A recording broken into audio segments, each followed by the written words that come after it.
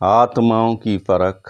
ठीक है, आज हम आत्माओं की परख के बारे में जानेंगे, समझेंगे कि कैसे आत्माओं की परख और कब कब एक ही आदमी में कई प्रकार की आत्माएँ काम करती है। आत्मा के नौ फल हैं और उन नौ फलों में भी जो है, जो अपने को और निखारना चाहता है, उनके लिए परमात्मा की जैसे विनती और प्रार्थना भी कहते हैं कि हमें जो है आत्माओं की परख, अधिकार वाली शिक्षा ईश्वर ने हमें दी है। तो उनमें से एक आत्माओं का परख भी है। कैसे हम आत्माओं को जाने, परखे, समझे, है ना? हम करते हैं ब्रह्म के पुत्र की बात, मनुष्य के पुत्र की बात, परमानंद के पुत्र की बात। वो नम्र, जो मन में नम्र और दीन है, उनकी बात करते हैं। जिनसे, जिनके द्वारा हमने ईश्वर को जाना कि सर्वशक्तिमान ईश्वर एक है और एक ईश्वर सबको जानता है, जो सच्चे मन से ईश्वर की महिमा के लिए, ईश्वर की आराधना, विनती और प्रार्थना के लिए मन बनाते हैं। तो उन्हीं में से जब हम ईश्वर को जानने लगते हैं, परम प्रधान, परमानंद के नाम से, नंद के नाम से जब हम जो है, उस मनुष्य के पुत्र को, जो हमारे लिए जो है, जिसने अपनी प्राणों का, को भी जो है, अपने, हमारे लिए निछावर किया तो उस परम धन्य धर्मी पुरुष को, जो ब्रह्मचर्य रह के जिसने परमात्मा की इच्छा पूरी की। उसने घर परिवार माता पिता भाई बहन और और रिश्तेदार कुछ नहीं जाने। जानते हैं कि परमात्मा किसे प्यार करता है जो परमात्मा को प्यार करता है। कहते हैं हम एक कदम बढ़ाते हैं ईश्वर दो कदम सौ कदम हमारे लिए स्वयं चल के आता है तो इतना अगाता अटूट परमे परम, पिता परमात्मा का जो है प्रेम हमारे लिए है। और प्रेम से जो आँखों में जो है वो प्रेम की कर धारा बहती है तो मनुष्य शुद्ध होता जाता है है ना? प्रेम परमात्मा का दूसरा नाम है है ना? पहला नाम मनुष्य का पुत्र है और दूसरा नाम प्रेम का सागर है, ना? तो जानते हैं हम जो परमात्मा के पुत्र के साथ बारह चेले तो हिंदू धर्म हो, कोई भी धर्म हो है ना? शाम में बात बारह गोत्र है। तो बारह गोत्र, बारह चेलों से बने है ना? ईश्वर के पुत्र आया पृथ्वी पे आया और परमात्मा की योजना के अनुसार वो बलि का बकरा जैसे बना है ना? हम जब कोई पूजा वगैरह करते हैं तो हम क्या करते हैं, उसमें खून देते हैं ना, चाहे बकरी का हो, चाहे मुर्गे का हो, कबूतर का हो, किसी का भी हो, भैंस का हो, है ना? तो इन सब खून के बदले ब्रह्मा के पुत्र ने अपना खून हमें दिया है और हमें अपने खून से उसने धो दिया है ना?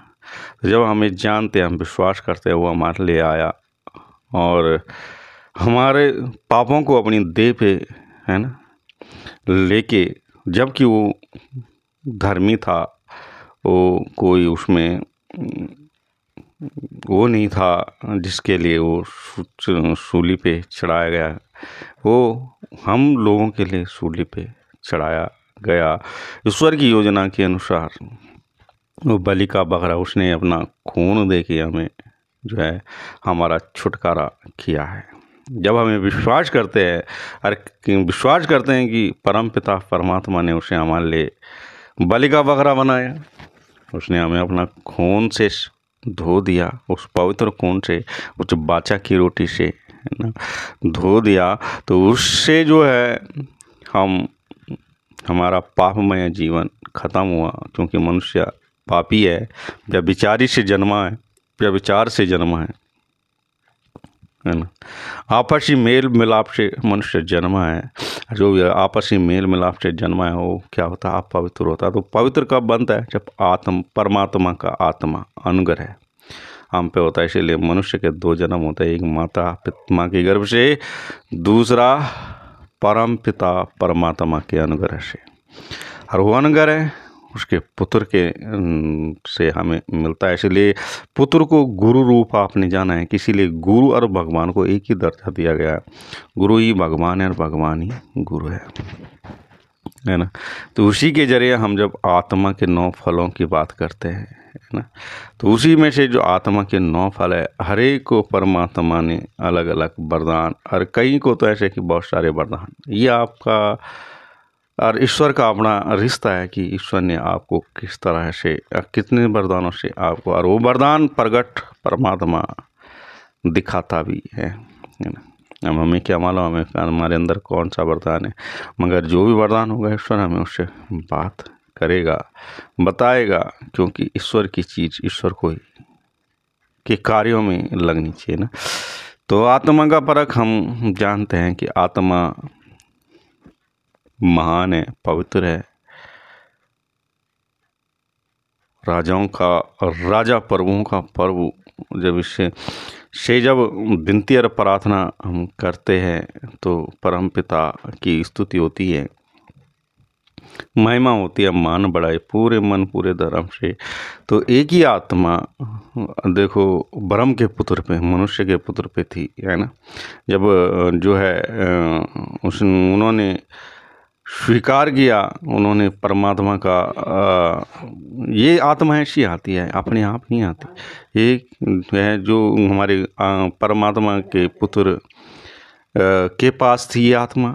अब इस आत्मा से परमात्मा के पुत्र ने बड़े बड़े काम किए पृथ्वी पे, है ना? मुर्दे जले, कोड़े शुद्ध हुए, बीमार ठीक हुए, दैविक, ताविक, भौतिक रोगों से परेशान लोगों को आज़ादी मिली।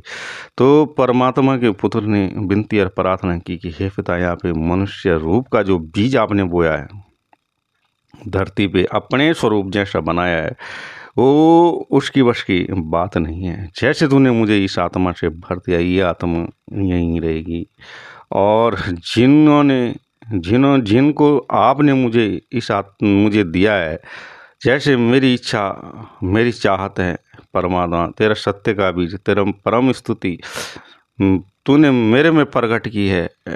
अपना नाम का भेद तूने मुझमें प्रकट किया, अपनी सामर्थ्य तूने मुझमें प्रकट की, वही सामर्थ्य इनमें भी प्रकट हो। तो फिर परमात्मा, ये तो मनुष्य जीवन है, ये तो आज छोटा है, कल बड़ा है, और एक दिन पान तो तब मिल में जाएगा, पर आत्मा, बलवंत मनुष्य, जो मनुष्य के अंदर एक मनुष्य है, वो कैसे बलवंत होगा, वो कैसे अमर होगा, कैसे मुक्ति पाएगा? तो उसके लिए हमारे गुरु, आत्मिक गुरु, मनुष्य के पुत्र ने विनती और प्रार्थना की, जैसे ये आत्मा मेरे पे काम कर रहा है पिता, ऐसे ये आत्मा सब में काम करे, जो भी तेरे नाम से मेरे पास आते हैं, तेरे जनों के पास आता, आत, वो आत्मा, देखो वहीं से, परमात्मा की आत्मा, परमात्मा के पुत्र के पास। अब परमात्मा की पुत्र की आत्मा, वो चेलों के पास, बारह चेलों के पास। अब बारह चेलों की आत्मा, बारह चेलों के बाद जो है गोत्र बने ना, बारह चेले बने, गोत्र बने और यहाँ से जो है चेले दर चेले चेले दर जिन जिन्होंने आत्मा का ध्यान लिया, जो दुखी, लाचार, परेशान थे, अब कोई अच्छा खाता पीता रहेगा, ऐसा आराम रहेगा, बड़ी कोठी बंगले में रहेगा, है ना? लग्जरी गाड़ियों में घूमेगा, उसको आत्मा के दान की ज़रूरत है। उसकी तो भरपूरी पहले ही हो रही है ना? है ना? अगर उसके पास आप जो है आत्मा का दान लेके जाते हो, कि ईश्वर को जानो, पहचानो तो वो तो आपको, है ना? तो इसीलिए बोलते हैं कि आत्मा का दान सुअरों के आगे भी, मेरे मोती सुअरों के आगे भी नहीं डालने हैं। जो ज़रूरतमंद है, अब हमारे गुरु ने कैसे इस ज्ञान को प्रकट किया? पृथ्वी में, वो ऐसे लोगों के पास गया जो थके, हारे, परेशान, लाचार, किसी काम के नहीं हैं, टूटे हुए हैं, पर जीना चाहते हैं। तो हमारे गुरु ने ऐसा काम किया उनके साथ, उनके पास गए, उनसे बातें की और उन्होंने कहा तू बीमार है। भाई तू ठीक होना चाहता है? उन्होंने कहा हाँ जी, ठीक होना चाहता हूँ। तो उन्होंने कहा, एक है जो आपको ठीक कर सकता है, परम प्रधान है, स्वर्ग में जो विराजमान है। तो उन्होंने कहा, ठीक है, अगर मैं ठीक हो जाऊँगा तो मुझे तो और खींचिए।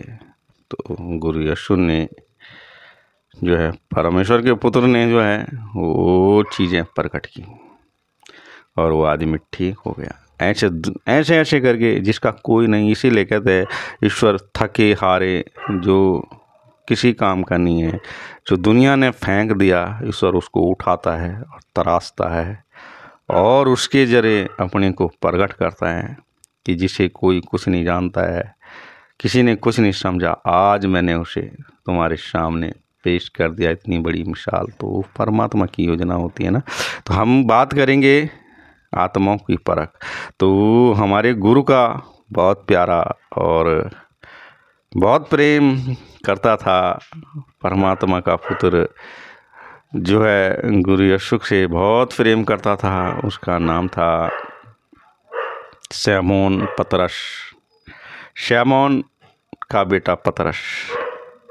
और ऐसे इस को हम कैसे जानेंगे कि वो बहुत, क्योंकि श्यामोन, जो पतरस जो है, पढ़ा लिखा भी बहुत कम था। जो पढ़े लिखे कम होते हैं, वो ज़रा उनका अच्छा प्यार होता है है ना?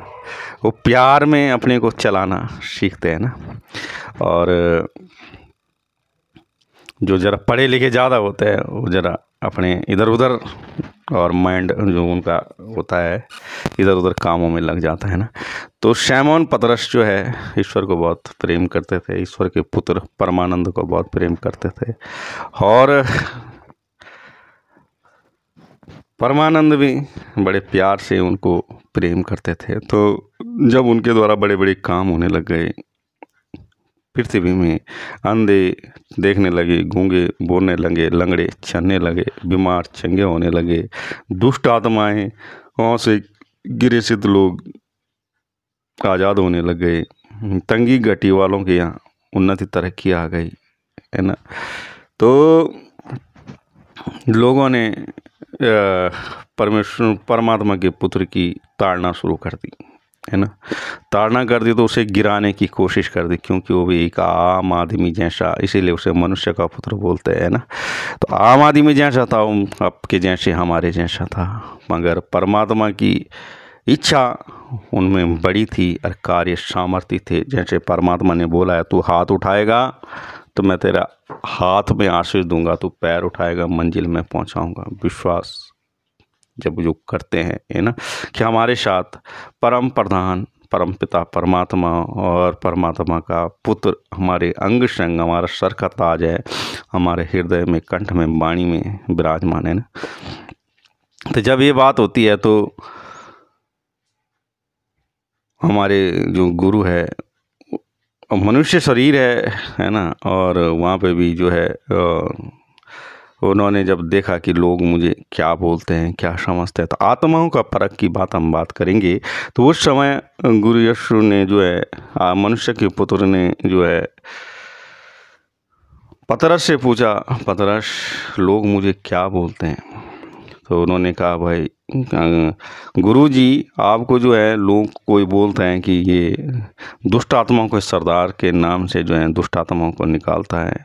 कोई कहता है, ये जो है, ऐसे काम करता है, वैसे काम करता है, तब जाके ही लोगों को ठीक करता है।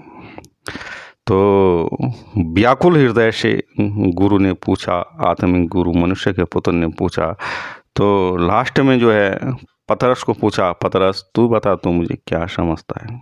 आत्माओं की परख की बात कर रहे हैं तो यहाँ पे देखो, पतरस पे परमात्मा का आत्मा प्रकट हुआ, और परमात्मा का आत्मा क्या बोलता है? गुरु यशु को, परमेश्वर के पुत्र को, कि तू परमेश्वर का पुत्र है और परमेश्वर की योजना के अनुसार पृथ्वी पे आया है ना? तो गुरु यशु इस बात पे बड़े ही ताकत उनको आई। उन्होंने धन्य है सैमोन पतरस के पुत्र सैमोन के पुत्र पतरस, कि मेरे पिता ने हार्ड और मांस पे नहीं, तुझ पे ये बातें प्रकट की है ना? तो आत्माओं का परख है कि उस समय गुरु यशु ने यह जान लिया कि पतरस पे परम पिता परमात्मा का आत्मा आया और आत्मा ने बोला कि तू परमात्मा का पुत्र है। तो गुरु यशु ने परमेश्वर के पुत्र ने बोला, तू पतरस नहीं तो पत्थर है, मैं तेरे पे ऐसी मज़बूत सत्संग बनाऊँगा, ऐसे मज़बूत लोगों को बनाऊँगा जो पिता का नाम जगत में फैलाएँगे। आज आत्माओं का परा क्या यही वरदान हम में काम कर रहे हैं ना। भविष्यवाणी से ले बोलते हैं, भविष्यवाणी का जो है, आत्माओं का परख हर भविष्यवाणी कितनी इम्पोर्टेंट है। अगर अगर आप भविष्यवाणी करते हैं तो आप अपने लिए बहुत बड़े फल ला रहे हैं। और भविष्यवाणी इसीलिए बोलते हैं, मुँह से अच्छा अच्छा बोलो अच्छा अच्छा बोलो अच्छा अच्छा बोलो अच्छा अच्छा अच्छा बोलो मुँह से। अच्छा अच्छा बोलोगे तो भविष्यवाणी हो गई।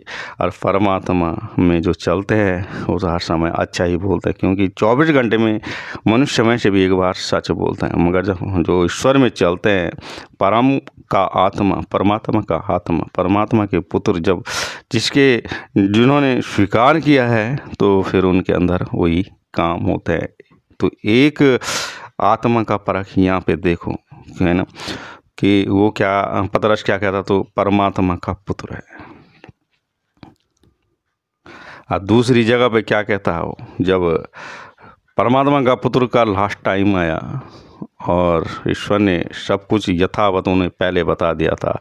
और उन्होंने भी अपने चेलों को पहले बता दिया था कि मैं तीन दिन, दो दिन बाद ज़िंदा जीवित होऊँगा और पिता के पास जाऊँगा और उस सामर्थ्य, आत्मा का सामर्थ्य मैं तुम्हें भेजूँगा। तो उससे पहले जो है, वहाँ पे भी आत्मा का परख, गुरु हमारे, मनुष्य के पुत्र को आत्माओं का परख कैसे था? तो इसीलिए गुरु ने जो अपने आप अच्छा किया है, वही अपने चेलों को भी बोला, तुम आत्माओं की परख करो। तुम्हें मैं अधिकार देता हूँ, अधिकार की शिक्षा। और ये, है ना, जो वरदान है ईश्वर के। तो वहाँ पे जब सारे चेले बैठे हुए थे तो गुरु यशु ने जो है, परमेश्वर के पुत्र ने बोला, तुम सब मेरा इनकार कर दोगे। जब लास्ट टाइम उन्होंने अपने को सलेंडर करना था तो ईश्वर की योजना थी तो उन्होंने कहा, तुम सब मुझे, मेरा सब इनकार कर देंगे। एक भविष्यवाणी तो ये हो गई, भविष्यवाणियों का अर्थ, भविष्यवाणी बहुत बड़ी होती है आपस में ना, इसलिए बोलते सोच तोल के बोलो। तो वहाँ पे गुरु ने क्या बोला, तुम मेरा सब इनकार कर दोगे, और सच मुझ सबने इनकार कर दिया। इसने में पतरस उठा, और पतरस कोने पे लेके चला गया गुरु यशु को। और गुरु यशु को कोने पे लेके गया तो पतरस ने भी झिड़कियाँ मारी गुरु को, मनुष्य के पुत्र को झिड़कियाँ मारी। अब देखो, यहाँ पे तो एक जगह पे तो पतरस ने बोला कि आ, जो है आप जो है परमात्मा के पुत्र हो और स्वर्ग से आए हो, पृथ्वी पे परमात्मा की स्तुति कराने, सत्य का बीज बोने है ना? और वहाँ पे गुरु ने भी उनको बड़ा आशीष दे दिया कि मैं तुझ पे कलेशिया बनाऊँगा, पत्थर बनाऊँगा, है ना? कलेशिया बनाऊँगा मतलब सत्संग बनाऊँगा, सत्य का सत्संग बनाऊँगा ना। मज़बूत लोग तो यहाँ पे खड़े होंगे ईश्वर के कार्यों के लिए, है ना? तो वहाँ पे जो है, जब लास्ट टाइम आता है तो वहाँ पे भी गुरु ने जो है, आत्मिक गुरु ने यही भविष्यवाणी की, तुम सब मेरा इनकार कर दोगे। क्योंकि अगर उनको ऐसा गुरु यह नहीं बोलता कि तुम सब मेरा इनकार कर दो उनके ऊपर भविष्यवाणी आ गई सबने इनकार कर दिया। तो गुरु को पता होता है भूत, वर्तमान, भविष्य। हमारा भविष्य क्या है? हमारा वर्तमान क्या है? हमारा जो है, आने वाला क्या समय है ना? भूत, भविष्य, वर्तमान, प्रजेंट। है ना? तो गुरु ने एकदम ने सब पे मना क्या कर दिया? तुम सब मेरा इनकार कर दोगे। अब उनमें सबसे ज़्यादा प्रेम जो है, पतरस करता था। तो जहाँ पे पतरस ने बोला कि एक तो परमेश्वर का पुत्र है, वहाँ पे पतरस भूल गया कि ये तो परमात्मा का पुत्र है। वहाँ पे वो कोने पे लेके जाता है, यीशु मसीह को, और यीशु मसीह को वो झिड़कियाँ मारता है। तो आत्माओं का परख। तो यहाँ पे जो है, गुरु यशु ने आत्माओं का परख, गुरु यशु के पास था। पतरस के पास? नहीं था। पर गुरु यशु, जो परम पिता से जुड़े हुए थे, गुरु यशु को आत्माओं का परख था। तो गुरु यशु ने क्या बोला?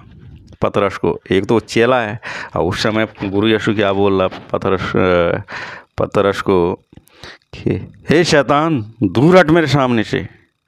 जो प्याला मेरे पिता ने मेरे लिए सजाया क्या मैं उसे ना पीऊँ? आवा था आत्माओं का परख कैसे था हमारे गुरु को? कितना हमारे गुरु जो है आत्मा से भरे हुए थे। जिसको बोलता, आत्मा से जो भरे होते हैं, उनको आत्माओं का परख और भविष्यवाणी का सामर्थ्य जो है, वो जानते हैं। आत्माओं का परख, आत्मा से चलना और आत्माओं भविष्यवाणी का जो सामर्थ्य है, वो जानते हैं। तो एक तो ईश्वर हमारे गुरु ने उनको बचा भी दिया भविष्यवाणी करके, क्योंकि चेले थे। चेला तो कोई नहीं चाहता ना कि मैं अपने गुरु से अलग हूँ।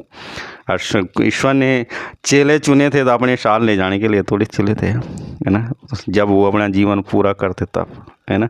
तो प्याला तो जो सजाया गया था, सेज जो सजाई गई थी, वो गुरु के लिए सजाई गई थी। ब्रह्म के पुत्र के लिए सजाई गई थी, मगर चेलों को थोड़ी मानना था। चेलों से तो शख्स जगत में सत्य का प्रचार करवाना था। इसलिए उनके ऊपर पहले ही भविष्यवाणी की गई कि तुम जो है, सब मेरा इनकार कर दोगे। और लोग कहते हैं कि सबने, चेलों ने ईश्वर का इनकार किया। उन्होंने नहीं किया।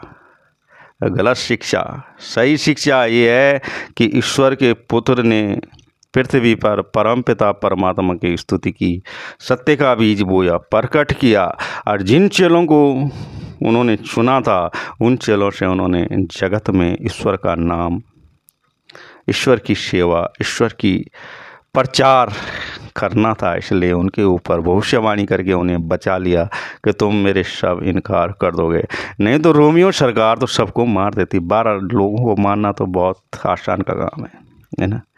जो हज़ारों लाखों सैनिक मार देते हैं, उनके लिए बारह लोग मारने तो बहुत आसान है ना? तो ये जो बचे एक गुरु यशु की जो है शिक्षा से, जो भविष्यवाणियों से बचे, और उसमें पतरस प्रेम करता ही था ईश्वर से, बहुत ज़्यादा ईश्वर के पुत्र से। तो उसको कोने में लेके झिड़कियाँ मार रहा है। मैं नहीं करूँगा, मैं नहीं करूँगा, मैं नहीं करूँगा। है ना? मैं तेरा इनकार नहीं करूँगा। मगर उसके लिए फिर विशेष भविष्यवाणी गुरु यशु ने की। ब्रह्म के पुत्र ने की। क्या भविष्यवाणी की? कि तुम तो मेरा तीन बार इनकार कर देगा। मुर्गे की बांग देने से पहले तीन बार इनकार कर देगा। तो अब बताओ, लोग कहते हैं, पतरस ने ईश्वर, यीशु का मन इनकार किया। अरे नहीं किया। यीशु को यीशु ने पतरस को मानने के लिए नहीं, पतरस को वहाँ पे वरदान दिया था कि मैं तेरे पे पत्थर पल पत्थर की कल, सत्संग बनाऊँगा, है ना? कलेशिया बनाऊँगा, जो ईश्वर के लिए मज़बूत लोग तैयार किए जाएँगे, है ना?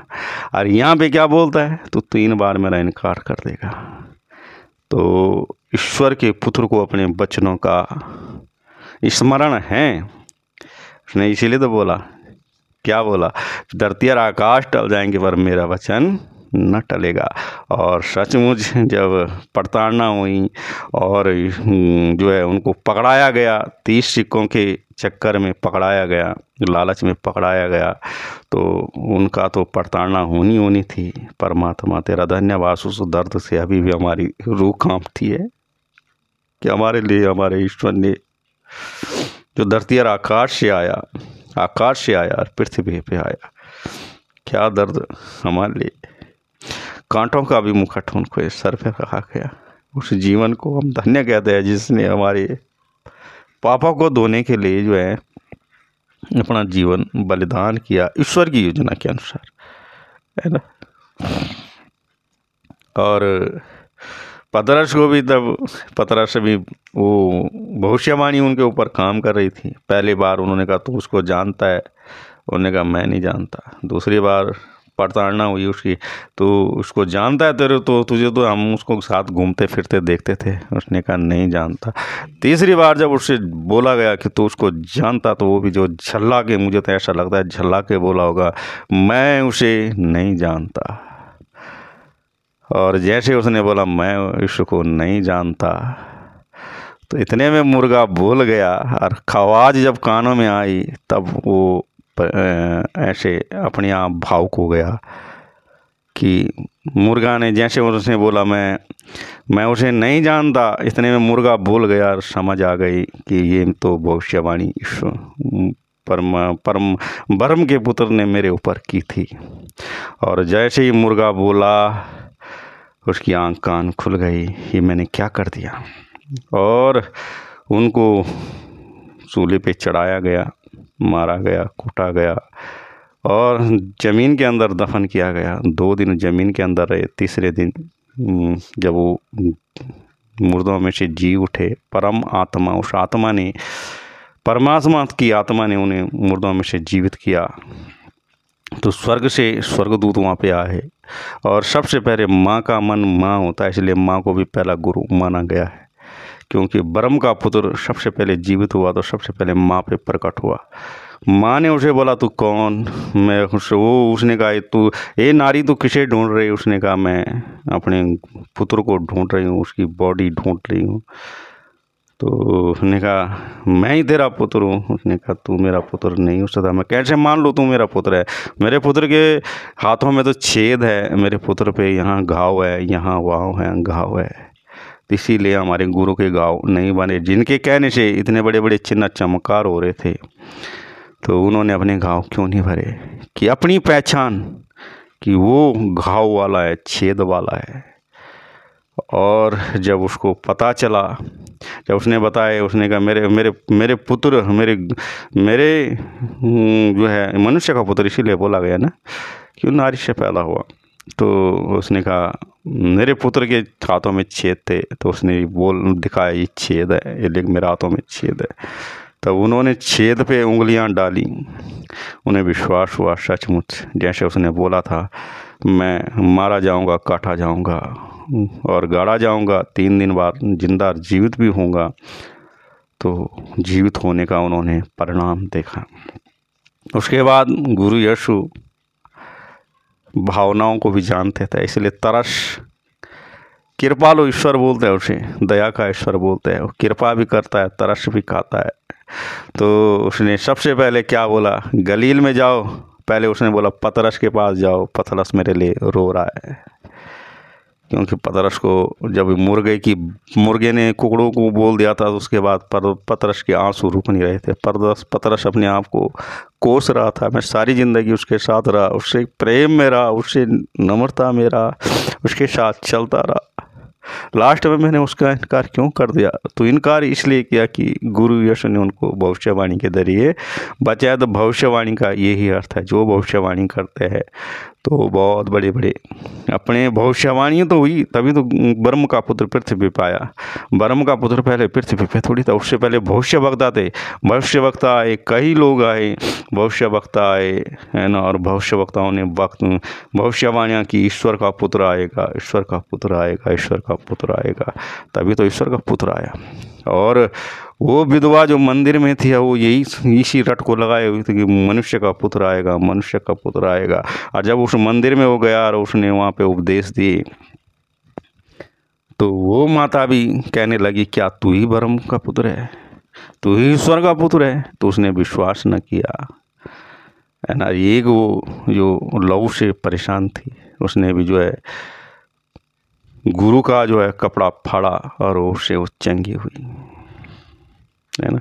तो ये होता है भविष्यवाणी का और आत्माओं का परख। पतरस को को कहीं उससे जो है परम के पुत्र ने ये हम जहाँ तक जानते हैं परमात्मा जो शिक्षा हमसे भी ईश्वर हमें सिखा था कि आत्माओं का परख भविष्यवाणी का अर्थ।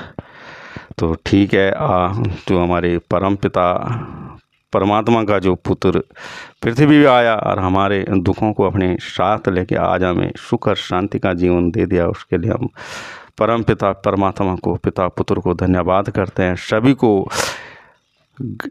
इस शिक्षा से उत्साह होने का और आत्माओं का परख का ज्ञान मिल चुका है। विश्वास करते हैं, जो भी आपकी ज़रूरत चाहते हैं, ईश्वर उन्हें पूरी करें। और ईश्वर के कार्यों के लिए और आगे बढ़े। न कि ईश्वर के कार्यों में रोड़ा बनाए। नए नए लोगों को तैयार करो। नए नए चेलों को तैयार करो, जैसे हमारे गुरु की शिक्षा है। और पुराने लोगों से उम्मीद और उनके जो है, उनसे भी कहो, उनसे भी जो है, ईश्वर की इच्छा पूरी होने में मदद मिले। यही विनती, प्रार्थना, सभी की हर एक ज़रूरत चाहत पूरी हो। धन्यवाद, नमस्कार। आदमी गुरु के नाम में हो चुका। धन्यवाद।